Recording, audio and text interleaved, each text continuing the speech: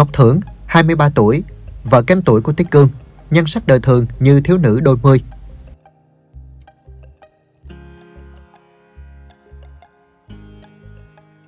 Gần đây, mạng xã hội được dịp xôn xao trước thông tin Tiết Cương cưới vợ ở độ tuổi U50. Đám cưới của nam diễn viên được tổ chức tại quê nhà. Đông đảo nghệ sĩ Việt đã đến chúc mừng. Bên cạnh đó, nhan sắc của bà xã Tiết Cương cũng được khán giả đặc biệt quan tâm. Được biết, bà xã Tiết Cương có tên là Ngọc Thưởng. Cô nàng là người Cần Thơ và hiện đang sinh sống làm việc tại vùng đất Tây Đô này. Vợ của nam diễn viên là người ngoài ngành giải trí. Cô chưa từng tham gia bất kỳ hoạt động showbiz nào. Ngay khi các nghệ sĩ đăng ảnh đi dự đám cưới của Tiết Cương, khán giả vô cùng ngỡ ngàng vì trước đó nam diễn viên rất kín tiếng trong chuyện đời tư và cũng chưa từng công khai hẹn hò hay hé lộ thông tin của bạn gái. Thông qua những hình ảnh của các sao Việt đăng tải tại đám cưới của Tiết Cương, có thể thấy Ngọc Thưởng khá trẻ trung. Cô diện áo dài màu hồng khá giản dị trong ngày vui của mình. Dù đứng cạnh người đẹp không tuổi như bà xã Lý Hải, nhưng nhan sắc của vợ thích Cương vẫn không bị lép vế. Ngoài những hình ảnh trong đám cưới thì nhan sắc đời thường của bà xã thích Cương cũng khiến khán giả trầm trồ. Có thể thấy ngoài đời thực, Ngọc Thưởng ưa chuộng phong cách giản dị. Cô nàng cũng không thường trang điểm cầu kỳ mà tự tin khoe mặt mộc của mình lên trang cá nhân. Nhiều khán giả nhận xét rằng vẻ ngoài của bà xã Tiết Cương trẻ trung như thiếu nữ đôi mươi và xinh đẹp như hot girl. Dù không tiết lộ cụ thể tuổi tác của Ngọc Thưởng, nhưng ngắm nhìn nhan sắc khiến chân tình cho rằng cô nàng trẻ hơn Tiết Cương khá nhiều tuổi. Có thể thấy, phong cách thời trang đời thường của bà xã Tiết Cương cũng khá đơn giản.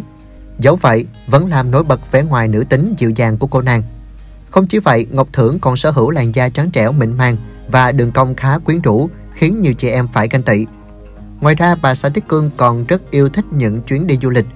Trên trang cá nhân, cô nàng thường khoe những bức ảnh check-in tại nhiều địa điểm du lịch nổi tiếng.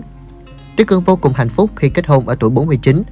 Trong đoạn clip do diễn viên Nhật Cường đăng tải trên YouTube, Tiết Cương tỏ ra rất hào hứng trong ngày vui và còn đích thân làm MC cho đám cưới của mình.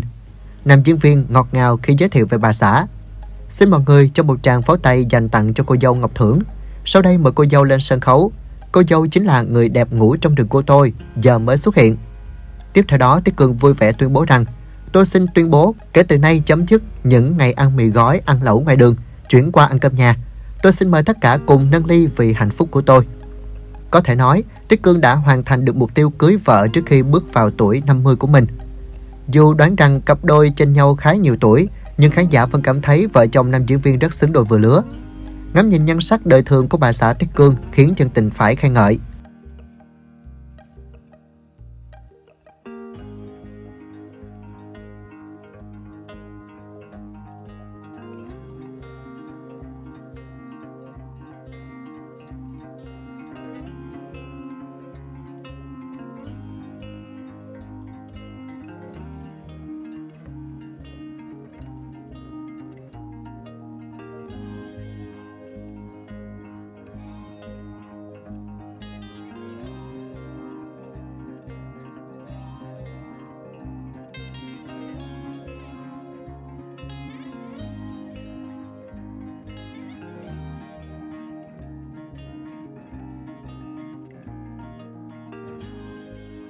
Tiệc cưới diễn ra ấm cúng có sự tham dự của một số nghệ sĩ thân thiết với chú rể như Cát Phượng, Nhật Cường, Cát Tường, Quách Ngọc Tuyên, vợ chồng Lý Hải Minh Hà. Tiết Cương tự làm MC dẫn dắt lễ.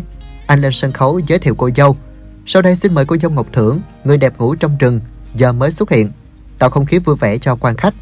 Nghệ sĩ hai vừa hát vừa dự bà xã lên sân khấu. Kết hôn ở tuổi 49, diễn viên hồi hộp quỳ gối trao nhẫn cưới. Anh khiến không khí buổi tiệc trở nên gần gũi và rộn tiếng cười khi giới thiệu tên tuổi nghề nghiệp của bố mẹ vợ. Mẹ vợ Nguyễn Thị Lan sinh năm 1963, nghề nghiệp nội trợ, có sở thích nấu ăn và sắm vàng. Hoàn thành phần lễ, Tiết Cương tuyên bố kết thúc đời độc thân, chuyên ăn lẩu mì gói, chuyển sang ăn cơm nhà. Chú rể giữ kín chuyện tình cảm đến ngày vui mới thông báo cho mọi người. Trước đó anh từ thành phố Hồ Chí Minh về huyện Cờ Đỏ để cùng nhà gái chuẩn bị ngày vui. Tiệc cưới đậm chất miền Tây gọn gàng ấm cúng. Diễn viên hài Nhật Cường nói, Nhật Cường góp vui bằng các tiết mục văn nghệ như đại diện anh cưới em. Tuy nhiên điều đáng tiếc là mẹ ruột Tiết Cương lại không có mặt tại đám cưới do tuổi cao sức yếu, đường xá xa xôi, chỉ có chị hai lên đại diện cho nhà trai. Nghệ sĩ Tiết Cương sinh năm 1973 tại Long An, về sau sống ở thành phố Hồ Chí Minh. Anh khởi nghiệp là diễn viên sân khấu, cùng lứa với Việt Hương, Thái Hòa, Đức Thịnh, nổi lên nhờ các chương trình hài, gala cười và gặp nhau cuối tuần.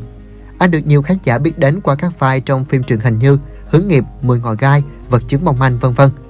Ngoài diễn xuất, Tiết Cương còn là MC và đạo diễn một số vở kịch, tiểu phẩm truyền hình. Anh từng đoạt danh hiệu như diễn viên hài được yêu thích nhất Gala Cười năm 2003, diễn viên phụ xuất sắc HTV Awards.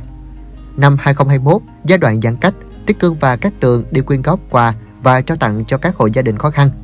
Thời dịch, diễn viên làm thêm vlog để có kênh giao lưu khán giả, cải thiện thu nhập. Anh từng cho biết lấn sân kinh doanh nhiều năm trước nhưng bị lừa, thua lỗ. Từ đó chỉ tập trung trong hoạt động diễn xuất vì thấy không hợp với thương trường.